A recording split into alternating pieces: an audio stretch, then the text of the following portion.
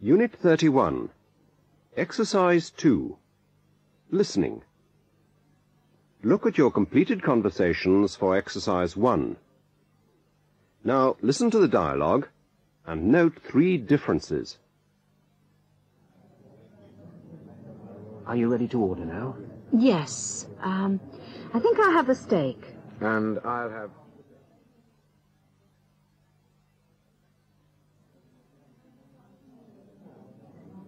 What would you like to drink? Could we have a lager and a glass of red wine, please? Would you like a dessert? No, thank you. No desserts, just tea.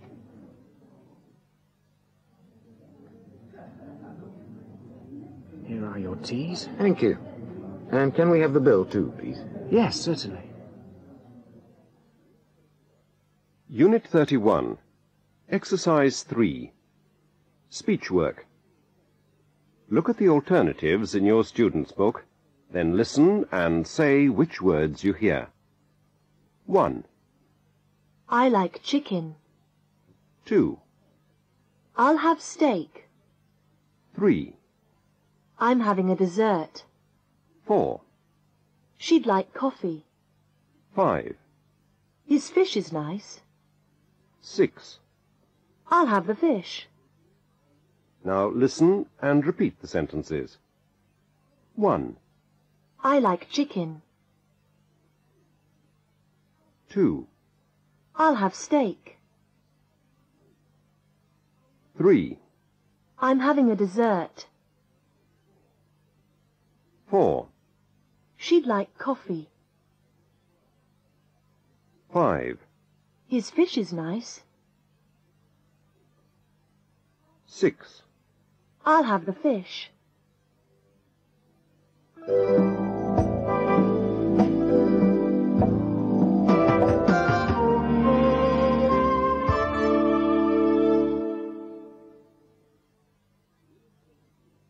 Unit 32.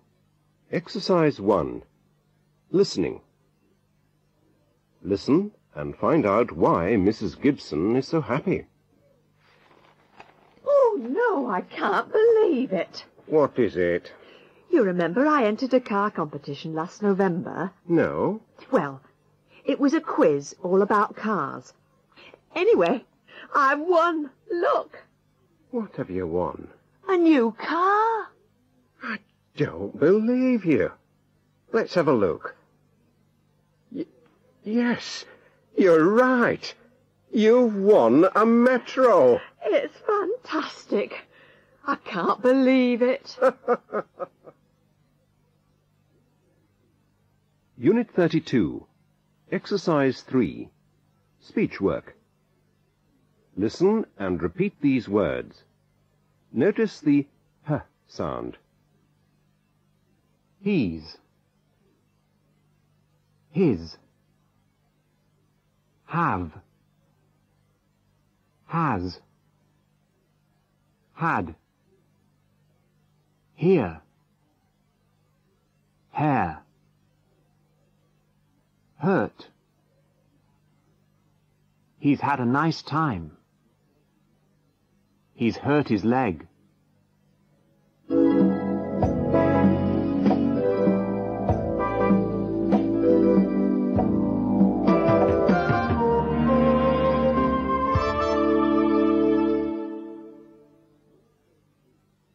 Unit 33. Exercise 3. Speech work. Listen and underline the stressed syllables. Have you ever seen it? Have you ever read it? Have you ever been there? Have you ever tried it? Now listen and repeat the phrases. Have you ever seen it? Have you ever read it? Have you ever been there? Have you ever tried it?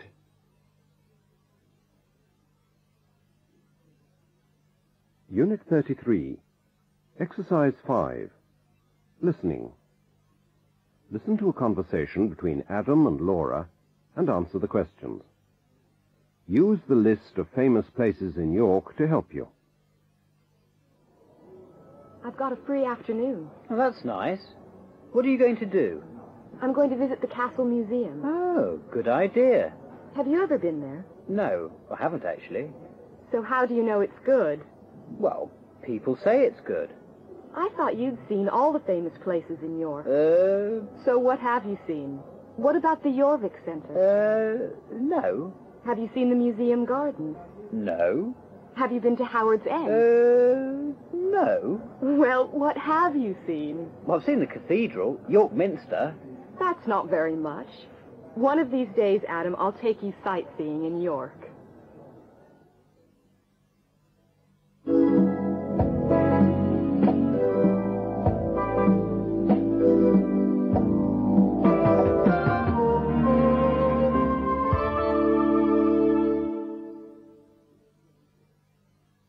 Unit 34. Exercise 3. Listening. Listen to the advertisement. What is it for?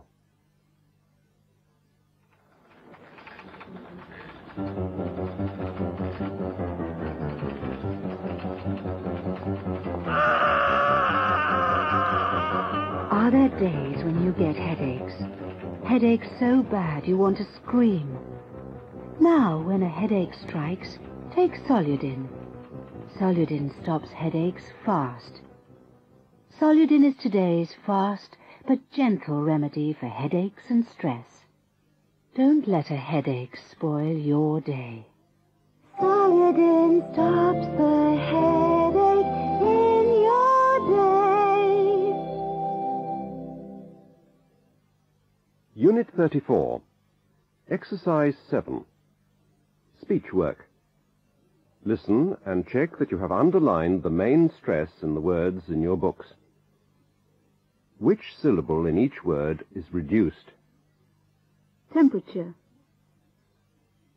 Medicine. Different. Restaurant.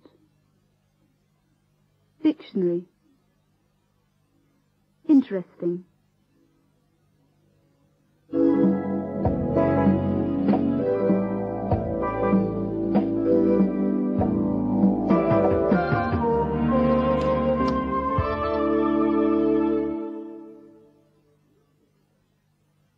Unit 35. Exercise 5. Listening. Mrs. Gibson wants Adam to give her some advice about a holiday.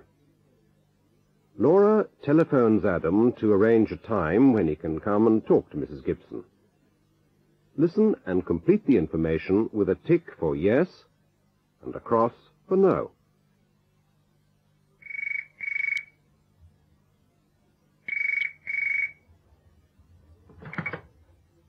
Hello? Double seven six three five one? Hi, Adam. Laura here. Oh, hi, Laura. Listen, could you come and talk to Mrs. Gibson about her holiday? Sure. What about this evening? No, I think Mrs. Gibson's got to visit her sister this evening.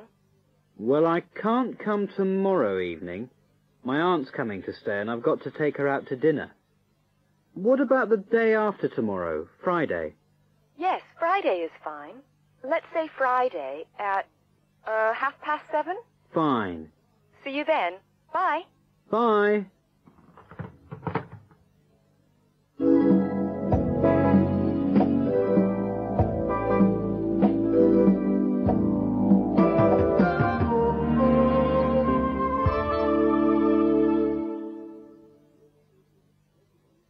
Fluency Units 31 to 35.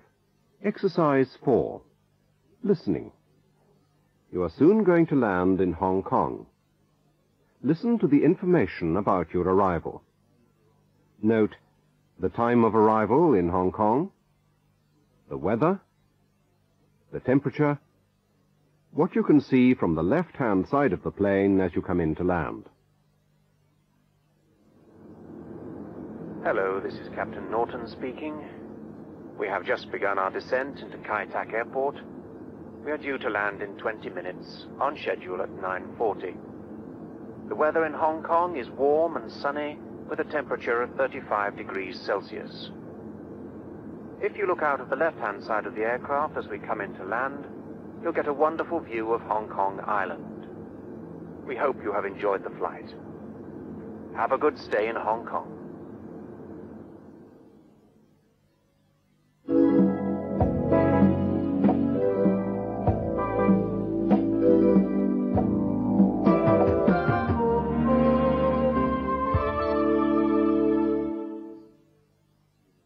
Preview. Units 36 to 40.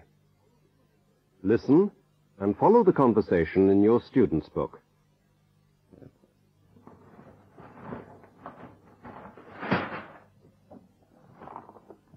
There's one for you. Oh, it's my ticket for the summer ball. Grand Summer Ball, Friday, June 21st, at the Assembly Rooms, York. Are you going with Adam? No, with David. You remember, the one who drove me home after my bicycle accident.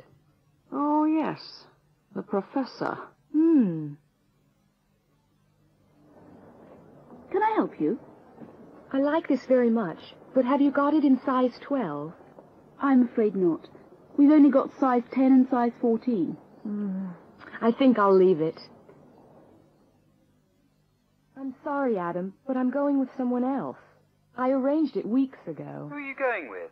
David Morgan, my professor. Oh, he's David now, is he? Okay. Well, that's fine by me. Just fine. Adam, wait a minute. Adam, I can explain. Do you think it's too tight? No, it's fine. It's a lovely dress.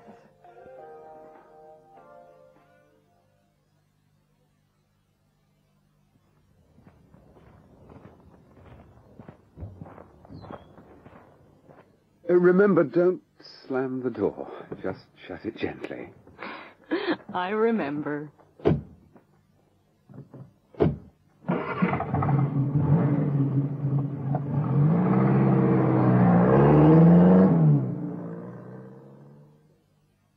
I'm really fed up. Well, if you feel so angry, why don't you do something about it?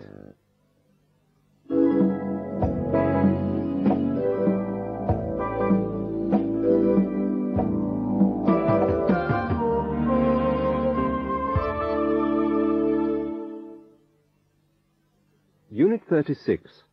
Exercise 5. Listening. Look at your completed conversation from Exercise 4. Then listen and check your conversation. Can I help you? Yes, I'm looking for a suit.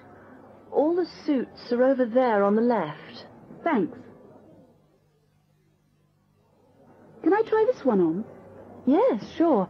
The changing rooms are over there. Thanks.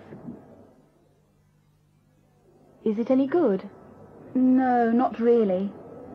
The skirt's too long, and anyway, the colour's wrong. Have you got it in a size 10 in black? No, I'm sorry we haven't. That's all we've got. Okay, then I'll leave it. Unit 36. Exercise 6. Speech work. Which of these words has the oo sound and rhymes with suit? Boot. Foot. Fruit. Put. Juice. Do. Ruin. Guide. Noon. Unit 36. Exercise 10. Listening. Listen to part of a radio program, Your Mind and Body, and answer the questions in your student's book.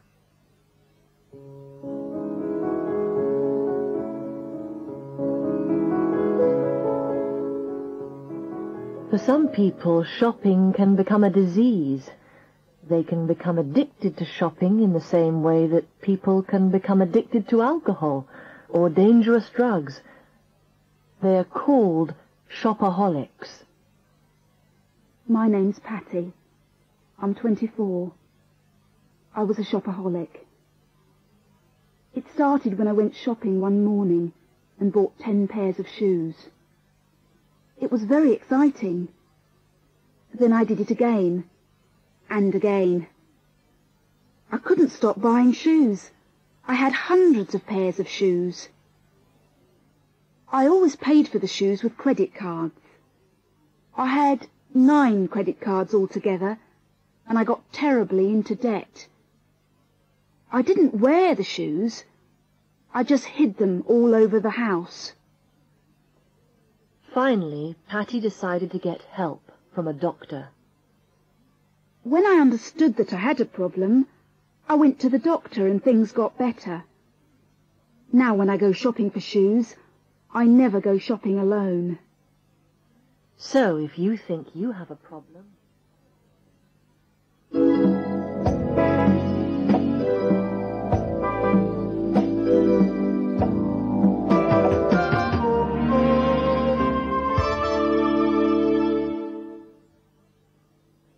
37. Exercise 3. Listening. Listen and say which conversation is about how to make a cake, which is about how to play a video cassette, which is about how to act a scene in a play, and which is about how to answer examination questions.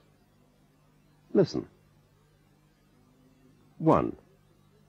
Now, remember, the most important thing about examinations is always read the questions carefully. Right. Now, let's look quickly at some possible exam questions. 2. Let me show you. Put the video in, gently. That's right. Now, press the button which says play. You need to press it firmly, like this. That's it. Now, if you want to stop it, you just... 3.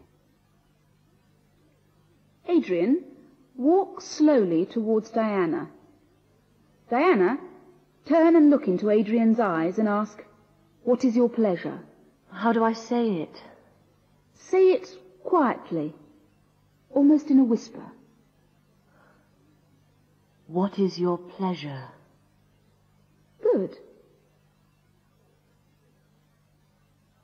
4.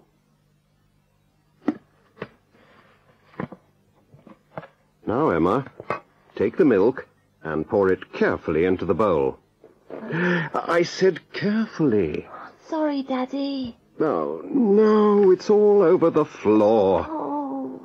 Come on, let's wipe it up immediately. Now look at your student's book. Listen again and tick the adverbs as you hear them. Which adverb is used most often and which is not used at all?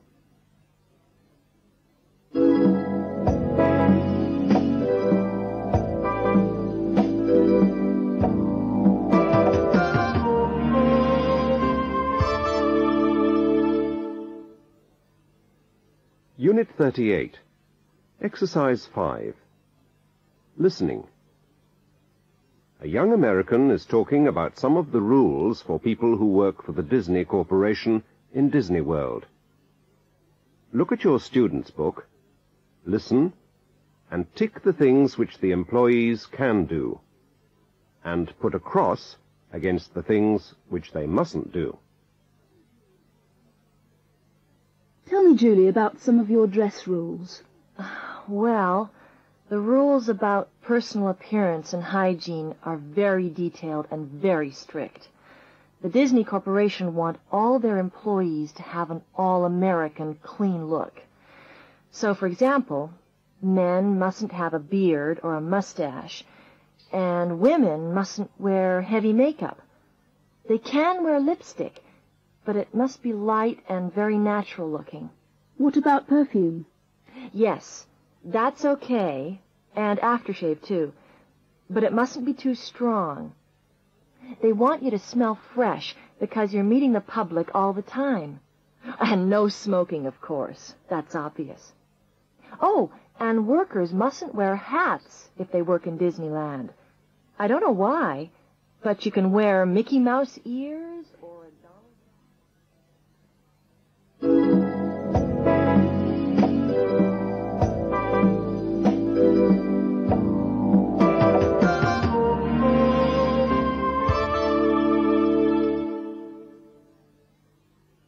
Unit 39. Exercise 1. Listening. Look at the pictures in your student's book and listen to three short pieces of music. Choose a piece of music for each picture. 1.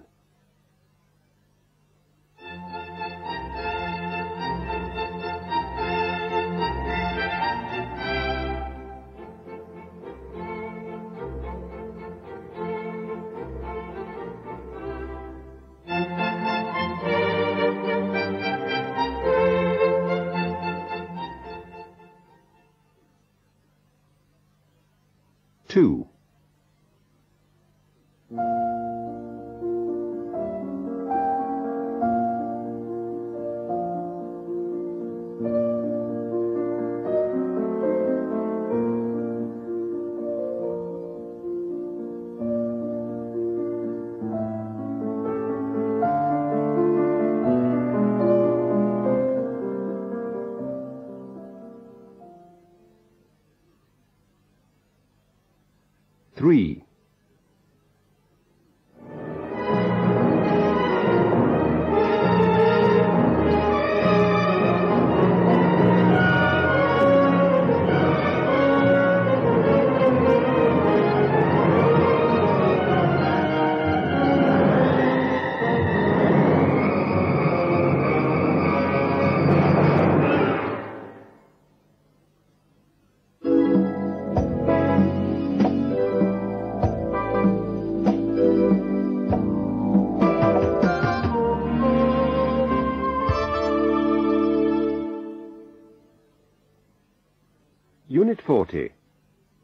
Exercise 7. Listening. Listen to this interview and follow the instructions in your student's book.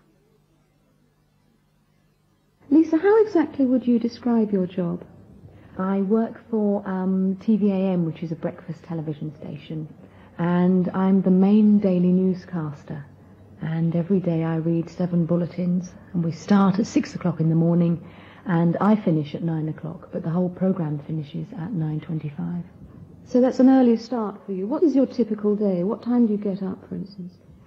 Well, it's a very early start for me. Um, I start, I get up at 3.30 in the morning, and a car comes to pick me up at about 4, and I get into the building at about 4.15, 4.20. I have to uh, read the papers, and then I have to spend about one hour having my makeup done and my hair done. And then we have a very, very quick rehearsal of about 10 minutes at 10 to 6. Did you always want to be this? I mean, how did you get into it? I never, ever wanted to be a newsreader. Um, I started thinking about what I was going to do as a career when I was in my last year at university, which was in London. Yes, and you read art, history, and religion. Or That's right, yes. And then in my third year, I decided I want to go, wanted to go into journalism, which was actually my favourite thing. Writing was my thing.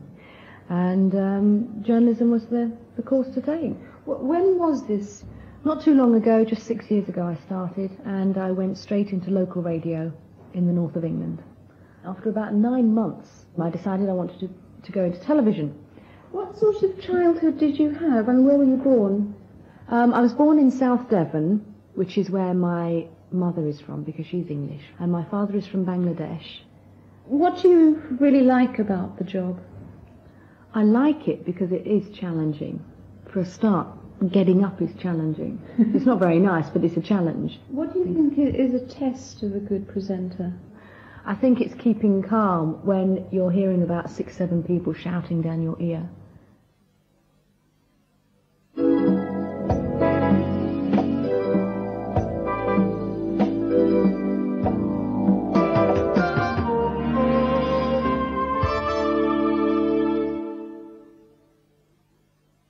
Finale.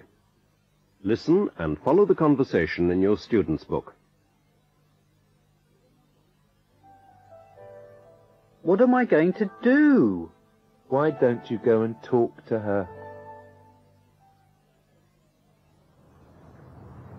Hello, Sarah. Have you seen Laura? I think she's in the library. Okay, I'll go and find her. Hi, Laura. Adam, what are you doing here? I want to speak to you. How was the ball? Fine. And how is David? Adam, David's married. Married? When did you discover that? Oh, ages ago. Anyway, it's not important. So why did you go to the ball with him? He invited me to the ball because his wife was ill. Oh. Well, I did try to tell you when you phoned.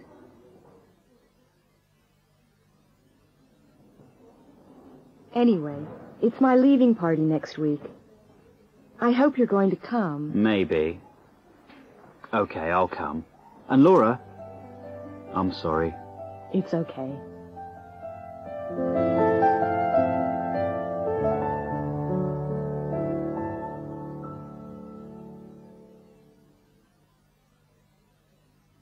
Finale. Exercise 2. Listen and follow the conversation in your student's book. Goodbye. And thanks for everything. Oh, it was a pleasure. Mwah. We enjoyed having you. I'll send you a postcard from Paris. Okay. Bye-bye. Take care. Have a nice time in Paris. Finale. Exercise 4. Listening. Listen and complete the conversation. I'm going to miss you, Laura. Can't you stay? Just a few more weeks. I can't, Adam. I've got to go to Paris, remember? Anyway, you've got your job. I think I'm going to leave the travel agents. What are you going to do? See the world. Travel abroad for a bit. Where to? I don't know. Eastern Europe, maybe Poland or Czechoslovakia. Or maybe California? Maybe. Please do. I'd really like that. You sure? Sure. The train's coming. Phone me when you get to Paris. Okay. Bye, Adam. Thanks for everything. Take care.